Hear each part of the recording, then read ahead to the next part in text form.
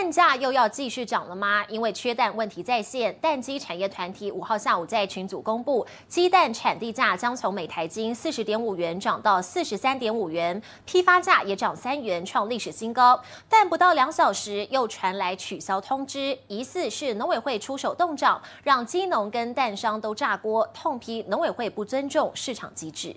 二零六嘛，一早不少民众到蛋行挑挑选选，看起来鸡蛋数量很充足，但其实台湾又见缺蛋危机，鸡都禽都太冷都死掉了，哎，蛮严重的。因为鸡蛋产量减少，生产成本提高，本来鸡农蛋商和农委会协调，六号起要调涨蛋价，产地价涨到四十三点五元，批发价也贵三元，创历史新高。五号下午，鸡农们收到调涨消息，但不到两小时又传来取消通知。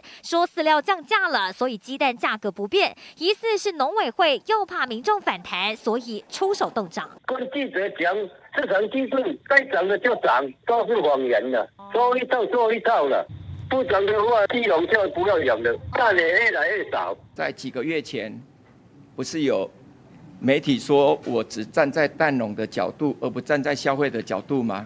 我怎么可能现在突然说，哎，我是站在消费者角度？